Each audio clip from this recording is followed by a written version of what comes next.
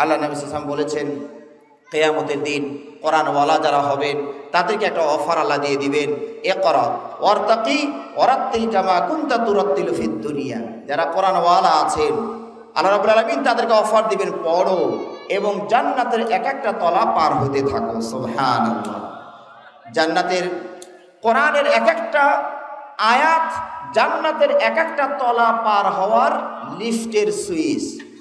আপনি যদি লিফটের উঠে দশতলার টিপ দেন কয়তলায় নিয়ে যাবে? দশতলা। আর যদি পঞ্চাশ তলায় নাই তো অত বড়। তারপরে যদি হয়, ওখানে টিপ দিলে ওখানে নিয়ে যাবে। সুতরাং কোরআনের এক একটা আয়াত হচ্ছে জান্নাতের এক একটা তলার সুইচ। লিফটের সুইচ আপনি এক একটা করে আয়াত পড়বেন, আর জান্নাতের উপরে আরও সুন্দর জায়গা আরও মনোহর্দি জায়গা আরও চিত্তাকর্ষক জায়গায় যত উপরে যাবেন তত মনোমুগ্ধকর, আরামদায়ক স্থানে আপনি পার হতে থাকবেন। সোহান আল্লাহ সোহান আল্লাহ সুতরাং কোরআনের আয়াত সংখ্যা কত? ছয় হাজার? অনেকেই ছয় হাজার ছয়শো ছেষট্টি বলবেন। এটা সহজ, মনে রাখাও সহজ আলেমুলামা এটাই বলি, জনগণের এই মুখস্থ রেখেছেন। আমরা বলি ছয় হাজার দুইশত ছত্রিশটি ছয় হাজার দুইশত ছত্রিশ।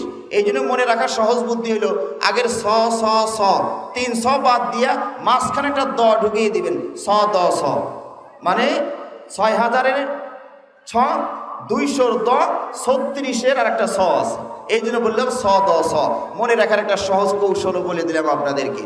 তাহলে কোরআনের হাফেজ যারা, আজকে যাদের কোনো মূল্য আমাদের সমাজের নাই বললেই চলে, ঠিক কিনা?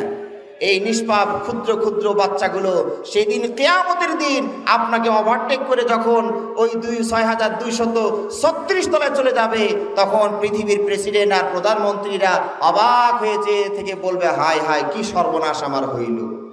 আজকে বুঝতে পারবেন না, ওই দিন আমরা বুঝতে পারব। আল্লাহ রাবুল আলমিন কোরআনকে গ্রহণ করে পরকালে মুক্তির সহজ ব্যবস্থা আল্লাহ আমাদের করে দিন বলে আমিন। ওয়াখির দাওয়ানা, আলহামদুলিল্লাহ রাব্বিল আলামিন। সুবহানাক আল্লাহুম্মা ওয়া বিহামদিকা, আশহাদু আল্লা ইলাহা ইল্লা আনতা, আস্তাগফিরুকা ওয়া আতুবু ইলাইক। আসসালামু আলাইকুম ওয়া রাহমাতুল্লাহি ওয়া বারাকাতুহু।